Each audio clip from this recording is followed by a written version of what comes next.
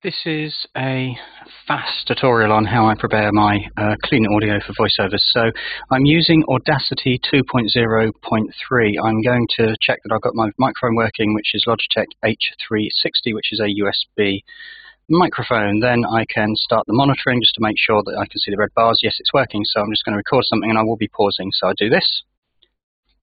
One, two, three, four, five, six. 7, 8, 9, and 10.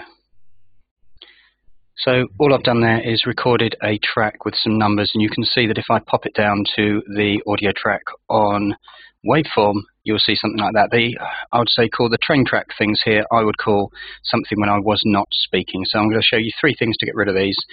What I do, it's not necessarily what everybody does, but it's what some people do. So I'm going to select a piece of a track there uh, just to get the bit where I was not speaking, and I'm going to do the effect of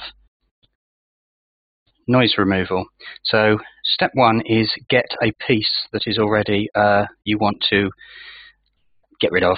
So get noise profile number one, I've selected a portion, that is fine. Okay, then I'm going to do control A and I'm going to select all and effect, same thing, which is noise removal. This time I'm going to do step two, which is get rid of it. Click OK. And you'll see that there are white lines now, which are very like thin.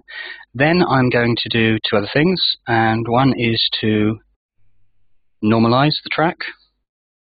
Click OK. Goes like that. And final one, I'm going to compress it, which is compressor, and click compressor, and click OK.